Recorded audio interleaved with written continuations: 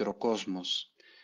porque indudablemente todo nos lo han contado bastante mal, bastante alejado de lo que es la realidad de el universo.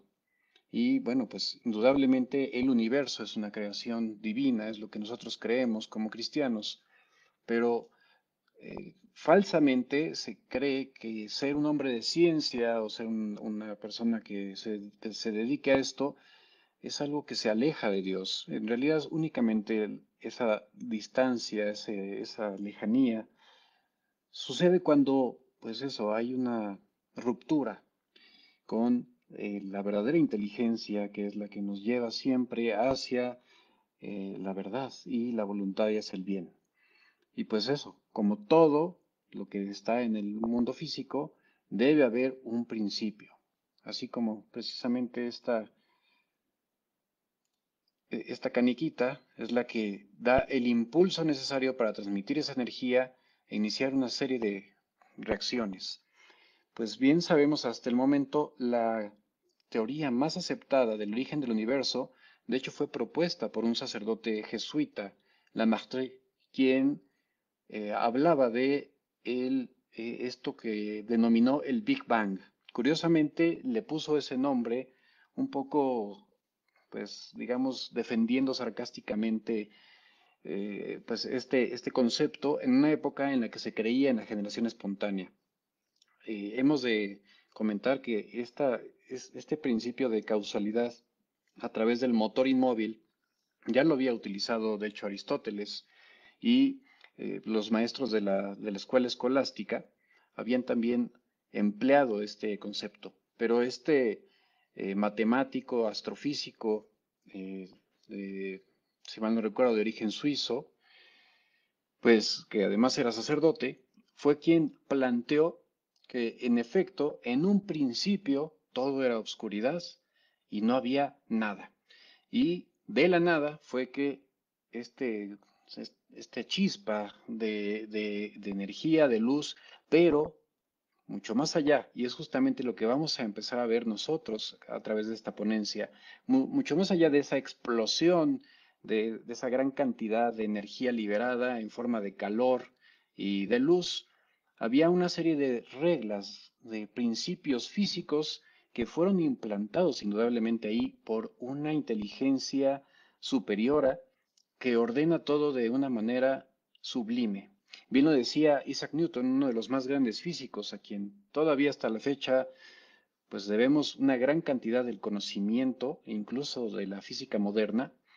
Eh, él decía que pues Dios es un gran matemático y ese es su lenguaje divino. Pero vamos a armar las piezas, porque obviamente todo lo que tiene una existencia en este mundo físico y tangible, pues debe tener un orden. Igualmente, pues ese orden es, es algo que es bello, que tiene un sentido. Y pues lo que sí, por lo menos ya queda muy claro es que no existe la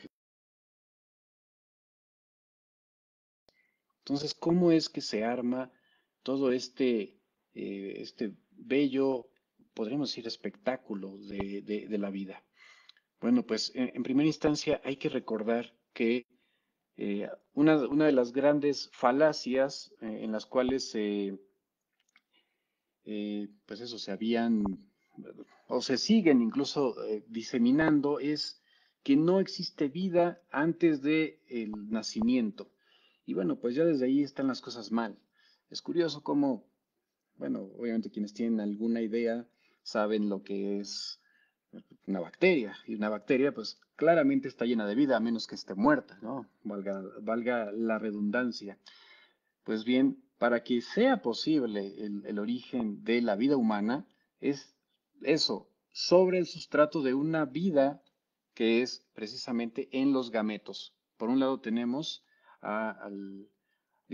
a, este, este, a esta célula muy especializada que es, que es el óvulo, que sufre una diferenciación, de hecho, desde el momento en que, en que somos embriones. Específicamente, en, en, esta zona que es común en esta edad gestacional, tanto en hombres como mujeres, se forman unas células que se llaman células primordiales germinales. a partir de las cuales va a, llevarse una serie de procesos de diferenciación bastante intrincados que van a llevar a la formación del óvulo y del esperma. Y algo que es muy interesante es que, bueno, los óvulos con los que nacen las mujeres son con los que se van a quedar y muchos de ellos, de hecho, van a atrofiarse, van a perderse y, van a absorberse por el organismo, pero precisamente por ello es que la mujer tiene una edad reproductiva en la cual pues tiene posibilidades de un embarazo exitoso y después de lo, de lo cual empieza a haber incluso problemas genéticos. A diferencia del hombre que puede mantener una producción muy elevada de espermatozoides desde el momento en que inicia con la pubertad, que ya ahí comienzan, eh, se reactiva, digamos, estas células que se encontraban dormidas, por así llamarlo, y se van diferenciando gracias a una serie de situaciones físicas que son como son la temperatura, la situación, la humedad, o sea, vaya, un entorno que permite, de hecho, los testículos, por ejemplo, se encuentran fuera del cuerpo, del abdomen, deben encontrarse fuera del abdomen, salvo bueno, en algunas situaciones genéticas que hay que corregir, que sucede en donde están dentro, y no es posible precisamente formar los espermas. Eh, y bueno, todo esto tiene un sentido. Si el testículo se encuentra dentro del abdomen, no es posible la, la espermiogénesis, y pues e, este varón es, infértil. Y de hecho, si no se extraen los testículos, si no se descienden antes de los dos años, pues eso, esta, esta situación termina siendo pues algo que se queda para, para toda la vida. E inclusive estas células pueden entrar en un desorden que favorece el desarrollo de cáncer testicular, eh, más adelante un tipo que se llama seminoma. Entonces, aquí lo único que quiero no es, eh, pues eso que ustedes se atiborren de información, sino que vean cómo hay un proceso bastante intrincado en el cual sufre una serie de eh, modificaciones en lo que aquí únicamente vemos dibujitos y eso ha sido el grave problema de la medicina,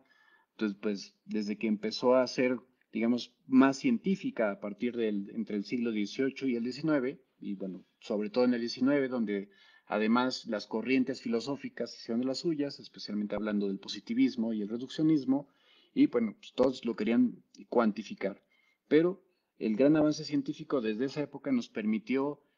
indudablemente ser mucho más juiciosos a la hora de, eh, pues eso, estudiar los fenómenos naturales. Y vemos aquí, pues la verdad es que es un esquema prácticamente como del siglo XIX, muy simple, que nos pone unos dibujitos que pues se ven bonitos, pero es mucho más allá que eso. Para que de esta célula se llegue a esta división, ocurren lo que se llaman dos divisiones meióticas. O sea, esta célula tiene una corriente, una mareada de información que le permite dividirse en células hijas que a su vez van a partir el ADN de, en este caso, el padre. Y bueno, lo interesante es que va a haber unos, espermas que van a tener 23, pares, 23, perdón, 23 este, cromosomas, no pares, porque los pares justamente se van a dividir. Entonces uno se van a llevar 23 cromosomas más el cromosoma sexual X y otros 23 cromosomas más el cromosoma sexual Y. Y es así que, pues, a diferencia de lo que se creía antiguamente, quien tiene la culpa de que nazcan puras mujeres o puros hombres, pues es el varón, no la mujer. Y bueno, también hablando de el, pues el complejísimo sistema eh, en el cual está involucrado todo este proceso de eh, la capacidad reproductiva en la mujer, vemos que está intrínsecamente regulado a través de muchísimos factores hormonales, eh, en donde también participa activamente el cerebro, especialmente a través de una región eh, que, se encuentra en su interior, que es sobre todo el hipotálamo, que va a secretar una, una, hormona que se llama hormona libradora de gonadotropinas, que a su vez va a favorecer de acuerdo al pulso. Fíjense qué interesante, porque esta hormona se produce en pulsos distintos y de acuerdo a la vibración y frecuencia con la que se produce, entonces va a generar ya sea hormona luteinizante o folículo estimulante. Y la folículo estimulante es la que inicialmente se produce y va a permitir que este, precisamente este óvulo que se encontraba quiescente se, se, se vaya que se encuentra ya en esta fase, vuelva a, empieza a diferenciarse con el estímulo de la folícula estimulante, se empieza a hacer aquí un hueco donde va a permitir la entrada de plasma que después va a favorecer a través de esto, de hecho, la salida y producción de muchas hormonas ah, y la liberación del óvulo para que de esa forma sea posible la fecundación. Además de las hormonas que va a producir eh, eh, de forma independiente para eh, precisamente favorecer las condiciones del útero, especialmente en esta capa interna, esta, que es la capa funcional, el, famoso endometrio, que es el que se recambia cada que tienen sus ciclos menstruales. Y bueno, pues hay una comunicación eh, muy estrecha entre el, pues, el útero, las hormonas que se producen en la, en la pituitaria y las hormonas sexuales que se van produciendo precisamente en el cuerpo lúteo, de ahí luteinizante que favorece el desarrollo de este y que se mantenga viable hasta que ya la placenta empieza a producir por sí misma las hormonas necesarias para que se continúe el embarazo. Entonces, como ven, es un proceso sumamente intrincado. No puede obedecer a una mera casualidad. A diferencia de otros seres inferiores, pues vaya, nosotros tenemos eh, complejos mecanismos de reproducción. Y bueno, por si no fuera suficiente, no es cualquier cosa la concepción. Para que sea posible y se lleve a cabo este eh, proceso pues magistral, porque realmente es una proeza de la naturaleza el que acontezca la concepción y apenas estamos calentando los motores, ya veremos a qué me refiero, pues sabemos que millones, literalmente millones de espermatozoides compiten para que solo uno pueda entrar a través de esta que, se llama la, zona pelúcida, eh, la cual a su vez está rodeada por esta que, valga la se llama corona radiada, y protege eh, el óvulo, pero además no solamente eso, sino que sirve de receptor para que los espermas no se pierdan y puedan llegar justo a ese lugar. Pero lo interesante y lo más asombroso es que en el preciso momento en que uno de los espermas finalmente logra anclarse a través de esta interacción con los diversos receptores que funcionan hasta cierto punto como feromonas, que bueno, tienen un gradiente de concentración y atraen hasta, digamos, el punto clave. En el momento en que sucede esto y se, digamos, se, se empiezan a liberar una serie de enzimas, se produce una conexión, activa literalmente un botoncito que le permite desarrollar algo que se llama reacción acrosómica, lo cual va a permitir que se perfore esta, esta este, zona pelúcida y eso va a liberar su núcleo, el cual se va a desprender de la colita y entonces va a ser posible la fecundación del óvulo. Pero en el momento en que esto sucede, entonces la corona radiada literalmente se convierte en un sello hermético que impide la entrada de otros espermatozoides. Entonces es algo que está de, una, de verdad regulado de una forma increíble. Además, se ha documentado perfectamente a través de nuevas técnicas de imagen microscópica que en este preciso momento se libera una cantidad tan importante de energía que incluso se produce un destello de luz bastante llamativo. Y bueno, pues no, no queda todo ahí, ¿no? Para que el, el bebé pueda implantarse en el, en el útero, tiene que suceder una serie de modificaciones sumamente importantes en el atracto genital femenino. De hecho, eh, pues ustedes seguramente saben que en condiciones normales la vagina tiene un pH bastante ácido y eso se debe sobre todo a pues, la colonización por bacterias, eh, sobre todo lactobacilos. Y no solamente eso, no sé si ustedes lo sabían esto, pero al final la vagina es un saco abierto al, exterior. Por eso pues, hay, que, hay que protegerla. Y son las mujeres más susceptibles precisamente a infecciones por el hecho de que literalmente aquí está abierto su cuerpo al mundo. Y eh, para evitar todas esas infecciones, además de este eh, ambiente tan agresivo, que justamente es neutralizado por el semen, porque de lo contrario los espermatozoides no podrían sobrevivir a, esa acidez. Además, tienen que luchar o tendrían que luchar contra una serie de, células de defensa que son los soldados, digamos, que la, aduana, pero con búnker y con ametralladoras y tanques de guerra, que en el momento en que sucede la, la concepción, imagínense que alguien llegara y les diera pases gratis para el cine a todos los soldaditos que no han ido al cine pues en dos años de pandemia. Entonces, literalmente sucede un cambio eh, de, bastante eh, trascendente que incluso modifica de forma dramática la manera en que se recibe, eh, pues eso, al, nuevo ser implantado que, que está claramente en completo desarrollo. Pero además aquí está otra parte que eso, habitualmente no se cuenta o no se dice pues en los libros de ciencias naturales, porque es sumamente complejo, tan complejo que incluso hasta nosotros los médicos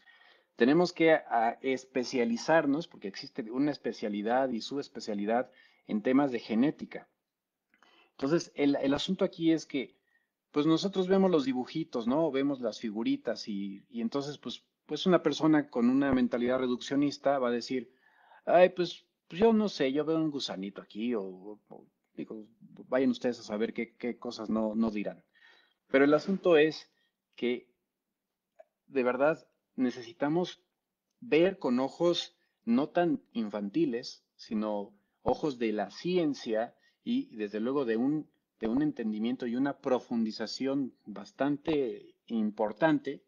para darnos cuenta de que para que todo esto esté sucediendo no estamos hablando de simples figuritas, estamos hablando de una complejísima interacción de una gran cantidad de factores que a su vez van a ser producidos por muchos genes que van a permitir,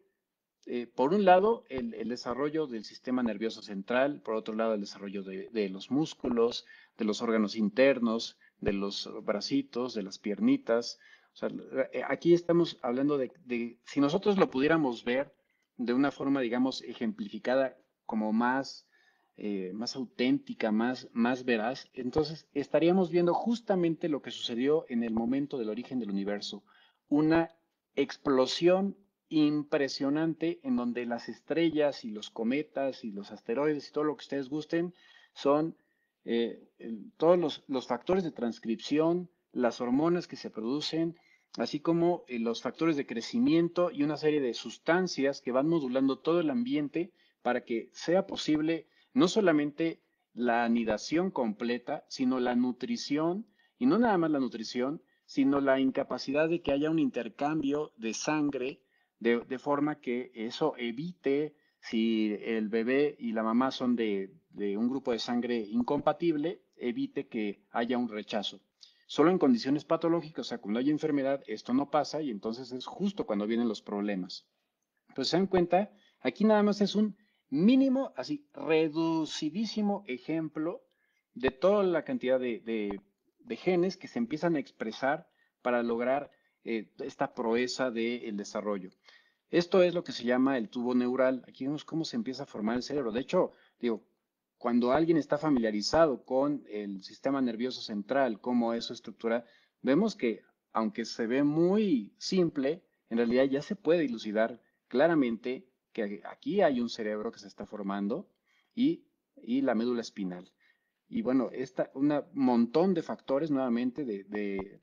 factores que son y de, forma muy interesante se empiezan a, a, transcribir en el momento preciso. Entonces hay factores reguladores, supresores, activadores y eh, eh, hay una serie de retroalimentaciones que permite que a través de un proceso ordenado esta teniendo lugar y de, forma que incluso la expresión génica se va haciendo cada vez más cuantiosa y más intrincada y compleja. Y vemos eh, inclusive aquí, eh, estos son todos los genes que están eh, pues encargados de ir produciendo esa diferenciación. Es decir, que algunos tejidos van a migrar hacia arriba, otros hacia abajo, otros hacia los lados, otros hacia adelante, otros hacia atrás, eh, unos, unos, se van a, convertir en el ectodermo, otros en el mesodermo, otros en el endodermo. De, del ectodermo entonces van a surgir, eh, por ejemplo, eh, la, prácticamente todo el sistema nervioso central, la, la, corteza suprarrenal, del mesodermo, por ejemplo, el músculo, del mesoectodermo, el hueso, y así todos los tejidos que se van diferenciando. Pero nuevamente, si se ve esto con los ojos de de la medicina ya propiamente científica, pero muy primitiva del siglo XIX, pues entonces nada más vamos a ver un dibujito muy, pues eso, muy infantil, pero que no es otra cosa que un esquema que nos quiere hacer, eh, eh, pues eso, nos quiere ejemplificar de manera sencilla algo que, de hecho es sumamente complejo. Nuevamente aquí seguimos viendo la gran cantidad de, eh, pues eso, de tanto de factores de enzimas, de factores de crecimiento, de reguladores que permiten el crecimiento y la división de las células, así como la, transformación eh, a través del nuevo material genético, que es algo eh, importante que olvidé mencionar. En el momento en que sucede la fusión del óvulo con el esperma, estamos hablando de un ser completamente independiente, completamente distinto en términos genéticos eh, de ambos padres. Bueno, completamente, no del todo, porque obviamente pues, hay una mezcolanza de genes, pero cada individuo tiene su particularidad y eso, bueno, eso es algo innegable que ustedes han podido ver, sobre todo en una familia grande. Digo, yo les puedo compartir que soy una familia donde, donde éramos ocho hermanos y cada uno de nosotros tiene, sí, algunos rasgos en común, pero muchísimas diferencias y particularidades. Entonces, el, proceso de la diferenciación celular de la mitosis es increíblemente intricado, pero lo, más interesante es cómo a través de este universo, la cantidad impresionante de estrellas, de sustancias y factores de crecimiento, pero no nada más eso,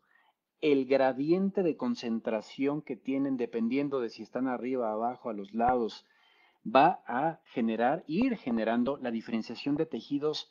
tan diferentes como puede ser una neurona del cerebro o un queratinocito de la piel. Entonces, cuando las personas de profunda ignorancia dicen que abortar es como rascarse la piel y tirar eh, celulitas de la misma, no tienen, pero ni la más remota idea de lo que están diciendo. Tan solo en la piel, por ejemplo, estamos hablando, digo, ahorita de lo que me vienen a la mente, estamos hablando por lo menos de 20 tipos celulares distintos,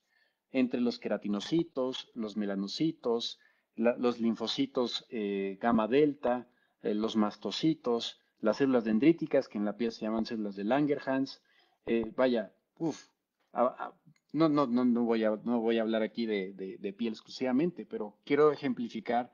cómo la diferenciación es, indudablemente yo creo que la palabra adecuada es primorosa. Es, es algo increíble cómo, de acuerdo a esta expresión ordenada de leyes que están ahí, es que va surgiendo todo esto, todo este, eh, este mar de, de, diferenciación precisa, salvo cuando, pues, por situaciones desafortunadas, se interrumpe el proceso, ya sea por infecciones, por el uso de sustancias tóxicas eh, o, por algunas, eh, pues vaya, una gran cantidad de, situaciones del ambiente que de hecho pueden modificar los genes y pues la diferenciación normal. Entonces, apenas estamos hablando de el, el, cigoto, todo lo que, o sea, si, si nosotros realmente tuviéramos ojos maduros, porque insisto aquí hay que tener una madurez de, la inteligencia y del conocimiento, entonces no veríamos una bolita con, eh, pues no sé qué les gusta llamarle, con pelitos, ¿no? Eh, aquí ya estaríamos, eh, de hecho, bueno, aquí todavía está apenas el óvulo del, esperma está por fusionarse con el óvulo del, perdón, el, núcleo del esperma está por, fusionarse con el núcleo del óvulo. Pero en este momento si nosotros tuviéramos realmente estos ojos eh, eh, maduros y pudiéramos eso, vaya, regresarnos al esquema que, les ofrecí anteriormente, aquí ya estaríamos viendo, aquí en esto tan pequeñito, aunque nuestros ojos terrenos no puedan eh, vislumbrarlo, estaríamos viendo en realidad un complejísimo mapa de material genético que va a ir ordenando de forma metódica y profundamente regulada cada uno de los tejidos que finalmente van a diferenciarse. Entonces, pues sí, efectivamente, pues empiezan como células, pero es súper absurdo decir que es un conglomerado de células. Digo, si, nos vamos a ver tan reduccionistas, pues el que les está hablando es un conglomerado de células. Y quienes me están escuchando pues son un conglomerado de células, pero por supuesto que no es nada más eso. Eh, el asunto aquí es, pues nuevamente, si nosotros miramos con esos ojos infantiles y nada más vemos dos bolitas, pues nos vamos a quedar en dos bolitas. Pero aquí es, de verdad, es un microcosmos que es incluso más fascinante que el universo mismo. Pero que pues es imposible que un artista pueda plasmar en, un espacio tan pequeño toda esta complejidad para, pues eso, que sea entendible, ¿no? Que esto lo puede entender desde un niño de seis años hasta pues un, adulto que tal vez nunca había tenido la oportunidad de conocer al respecto. Entonces, el, pues eso, la, diferenciación sigue su proceso, sigue su curso, pero aquí están las cosas súper interesantes que empiezan a acontecer entre el bebito y la madre. Si no hubiera una comunicación, un diálogo perfecto, no como los que se, la pasan peleando todo el tiempo, no, aquí al menos al inicio sí hay una comunicación bellísima que le dice el niño a la mamá o la niña, oye mami, este, pues no seas malita, échame la mano, este, pues sabes que pues ahorita todavía no me puedo valer por mí mismo, ¿no? Eh, digo que aquí también sería el, juicio reduccionista, no, pues si no se vale por sí mismo, entonces no es humano, oye, entonces, que un paralítico deja de ser humano? Eh, o alguien que, pues, por algún accidente o, porque sufre un evento vascular cerebral o, incluso alguna persona con cierta discapacidad, pues claro que no, eso, es una falacia, vayas, esos son conceptos filosóficos, eso no es ciencia. Entonces, tiene que acontecer una serie de, modificaciones que incluso el útero de la mamá se preparó desde muchísimo antes para que esta zona donde, donde potencialmente podía implantarse el, cigoto, bueno, ya en este caso ya de hecho llega prácticamente en, etapa de mórula, eh, que no es otra cosa que una forma de llamarle al desarrollo embrionario, que igual no es otra cosa que decir, eh, así como decimos infante o recién nacido, eh, recién nacido infante o lactante, bueno, depende de la literatura que, ustedes este, consideren, niño, puberto, adolescente, adulto joven, adulto medio, adulto mayor, ¿no? Vaya, esos simplemente son meras, meros accidentes del lenguaje para poder comprender mejor de qué estamos hablando, de qué proceso del desarrollo. Pero no es otra cosa que eso, un proceso del desarrollo. Y vean aquí cómo tiene que haber una finísima interrelación de forma que eh, las células del bebito puedan literalmente perforar a, tal grado que no vaya a desangrar a la mamá, pero pueda entrar, pueda haber ese aporte nutricional, pero fíjense qué interesante, sin que se toquen los glóbulos rojos del bebé con los glóbulos rojos de la mamá. Vean, o sea, eso obviamente no es una simple casualidad o un azar de la naturaleza. Esto, por supuesto que es un sistema perfectamente bien programado y regulado que tiene detrás un montón de leyes preestablecidas. Y además lo que ya les decía anteriormente, para que sea posible esta, esta situación como tal del embarazo, tiene que haber una serie de, de muy complejos de muy complejas diferenciaciones, transformaciones del tipo de inmunidad que se encuentra habitualmente en, en, esta, en este entorno de la madre, donde la inmunidad, de hecho, es súper violenta. O sea, si en condiciones normales, cuando entra aquí cualquier agente externo, o sea, una bacteria, el, útero de la, mujer va a hacer todo lo posible para destruir, destrozar a eso que entre. Y eso de hecho sucede cuando desafortunadamente por alguna enfermedad inmunológica, pues no hay esa regulación y, pues eso sucede precisamente o acontecen los, em, los, los abortos espontáneos. Entonces, estas células, las que, las que en condiciones normales serían súper agresivas, digamos que las mandan a descansar, les dicen, oye, ¿sabes qué? Te necesitamos en otro lugar porque, pues, este, aquí vamos a traer al rey o a la reina. Y entonces para eso se modifica completamente el ejército y en vez de, ser un ejército de matones, boinas negras o, este, o seals o lo que ustedes gusten, se convierten en, eh, pues en nodrizas y, y enanas y en, y no sé, en Mary Poppins y ese tipo de, digamos, de personalidades, ¿no? Que realmente acogen a la criatura. Entonces aquí nuevamente vemos toda la gran cantidad de factores que se, que se tienen que ir produciendo para que haya esta regulación eh, pues neuroinmunológica y pues el bebito eso pueda ser nutrido sin que haya ningún tipo de rechazo y no haya ningún problema entre este, pues la, la, la mamá y el, y el bebé.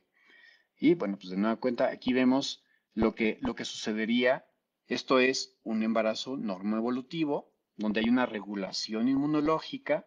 y eh, pues este, todos estos factores van a proteger y evitar el, pues eso, la, este, que el bebito, que el bebito se, se, pierda. Pero cuando, se, cuando no hay esa regulación, incluso, por ejemplo, si llegara a infectarse la mamá y entra una bacteria, pueden activarse mecanismos inmunológicos que justamente llevan al rechazo o a, vaya, a la producción de inflamación muy intensa y bueno, pues el sistema inmunológico, si llegan de nuevo las boinas, los boinas negras y los seals, pues son unos matones y esos no ven, o sea, no, no se tientan el corazón como, pues, como los buenos mercenarios que son, pero pues para eso están diseñados. Y entonces eso es lo que sucede, por ejemplo, en un aborto espontáneo, hay una pérdida de esta, de esta tolerancia inmunológica y se activan mecanismos que llevan a, a la falla de la placenta y, bueno, finalmente al embarazo, al, pues sí, a la pérdida gestacional. Entonces, nuevamente, repasando, filosofía reduccionista contra realidad científica. Entonces, como, como, les, como les comentaba, el, pues, con anterioridad, cuando la medicina apenas empezaba a ser científica y se separaba de los mitos que tristemente están volviéndose a poner de moda, ¿no? Porque ahora que si el dióxido de cloro y que si este que si las vacunas me convierten en mutante, bueno, no vamos a hablar de eso, pero tristemente el ser humano tiene una fuerte tendencia a creer en la magia y en la hechicería y, y en todas esas corrientes místicas, eh, pues, pues que desafortunadamente no llevan a nada bueno cuando hablamos de, conceptos de salud. Eh, y pues eso, la medicina se separó de eso hace varios siglos, pero en ese intento, pues al principio tenía muchísimas limitaciones. Entonces, para poder comprender los, los fenómenos, pues por supuesto que tuvo que hacerse muy reduccionista, o sea, partir cada una de las,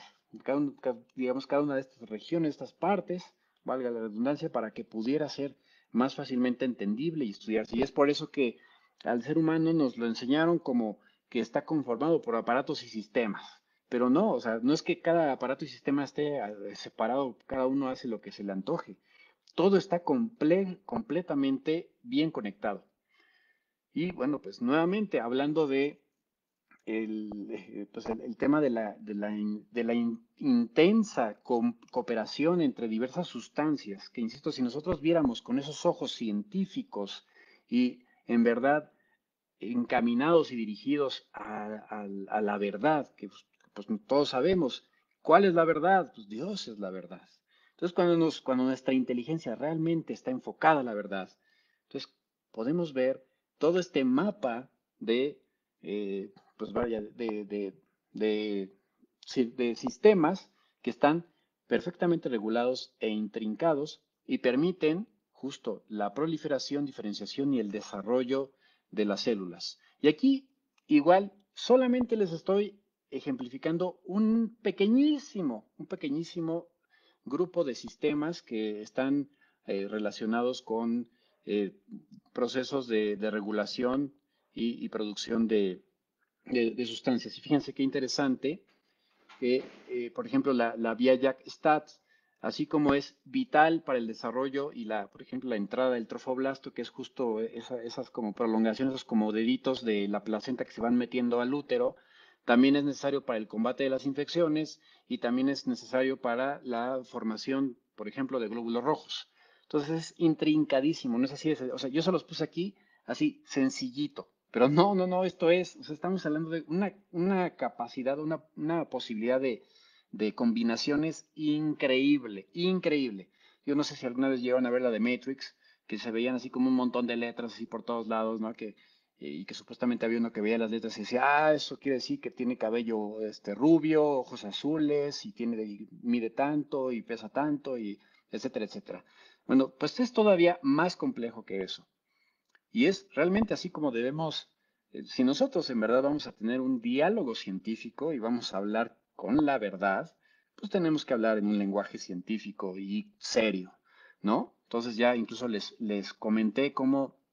igual, de una forma muy simplista, muy, muy simplista, estamos hablando de las tres, digamos, capas primordiales, de, a, partir de las cuales se va a ver una serie de diferenciaciones muy, muy altamente especializadas de diversos tejidos, ¿no? Entonces, por ejemplo, lo que es el ectodermo, principalmente la piel, el sistema nervioso, mesodermo, pues órganos internos, músculo, y el, endodermo, por ejemplo, los sistemas que revisten el aparato gastrointestinal y respiratorio. Y bueno, aquí nuevamente, o sea, con, igual con ejemplitos de figuritas, dibujitos que, insisto, ¿por qué, por qué se tienen que hacer así? Porque si no, seamos francos, eh, es, sería muy difícil comprender eh, y entender este proceso que, que incluso, bueno, triste y desafortunadamente muchos médicos pasaron de noche o se les olvidó con el tiempo. Es algo que incluso hay que estar repasando y además siguen y siguen saliendo cosas nuevas. Entonces, ¿qué cosas van sucediendo a lo largo del el desarrollo eh, embrionario y, eh, y, fetal? Bueno, pues cosas eh, importantes. Desde la semana 1 a 3 ya vimos todo ese proceso desde el cigoto hasta la gastrulación, que bueno, ya está perfectamente implantado, ya, ya tuvo más de 16 divisiones, eh, y ya se empiezan a ver los, eh, o sea, ya son claros, de hecho, la, diferenciación hacia, hacia los primordios, hacia las capas primordiales. A mediados de la cuarta semana ya el, el embrioncito, de hecho, empieza a producir, lo, digamos que su sistema nervioso central más primitivo, es decir, el cerebro, eh, la médula espinal y lo que dará origen a los nervios periféricos. A finales de la cuarta semana ya ocurren muchas formas de crecimiento diferencial de hecho, ya se, ya se empiezan a ver las yemitas de, los, de las extremidades superiores, no las yemas de los dedos, sino esos botoncitos que van a dar origen a, las manitas, y de hecho ya son prácticamente manitas, pero eh, o sea, con, las técnicas de imagen antiguas, pues no, no se alcanzaba a ver. Algo importante que quiero decirles es que, de hecho, entre, entre, entre la cuarta y la sexta semana, no solamente ya hay una formación del sistema nervioso, que es, de hecho, es vital, para la expresión de diversos genes que van a incluso a regular la proliferación y diferenciación de diversos tejidos, sino que desde la sexta, entre, a la séptima semana a más tardar, ya el bebito, entre la sexta y la séptima, ya el bebito siente. A diferencia de lo que dicen algunos mentirosotes por ahí, en esta semana ya el bebito es capaz de experimentar de, forma, de hecho, incluso para que sepan ustedes lo, lo, trascendente que es el dolor, el dolor es una experiencia sensorial eh, tan primitiva que algo tan, eh, digamos, tan simple como una sanguijuela o como una lombriz experimentan dolor y tienen un sistema nervioso súper primitivo. Incluso, incluso eh, o sea, en este momento en que el bebé tiene su notocorda, estos, estos gusanitos tienen, pues, todavía, es todavía más primitivo su sistema nervioso. Y ya desde este momento el bebito es capaz de experimentar eh, diversos estímulos y de hecho el dolor, lo que es el dolor y el tacto grueso o el tacto mal definido, es lo más primitivo en cuanto a, sensaciones que tiene nuestro sistema nervioso. Y, como les dije, el cerebro ya, la expresión del sistema nervioso es necesaria justamente para que se formen los ojos, así como las orejas y continúe la expresión de los dedos. Entonces, estamos hablando aquí de descargas, o sea, ya hay descargas eléctricas, eh, así como la expresión genética eh, y diversos factores que van construyendo eh, poco a poco, y ni tampoco, porque la vez que es un proceso relativamente rápido para lo complejísimo que es, al bebito. Entonces ya la séptima semana, en realidad el bebito ya tiene, o sea, ya se puede ver perfectamente. No se parece tanto a nosotros, ¿no? A lo mejor algunos lo verán así como, como un extraterrestre, como lo, habitualmente los, los, ponen, pero en realidad es, eh, es, es, maravilloso lo que ya se puede eh, ver. A finales de la octava semana ya están todos los sistemas orgánicos. De hecho, en este momento ya se le, ya se le conoce como feto. De, de aquí en adelante ya es un feto. Y nuevamente les digo, estas son meramente eh, clasificaciones funcionales para comprender un poco más eh, sencillo este complejísimo eh, proceso de desarrollo. Entonces, vean cómo ustedes nos dicen que ya, ah, que antes de las dos semanas no pasaría nada, que no hay, no hay ningún problema. O sea, es absolutamente falso. Sí, ya, ya a las 12 semanas, de hecho, desde las 10 semanas el bebito ya está ya, ya, es, ya es un bebito nada más muy cabezoncito, pero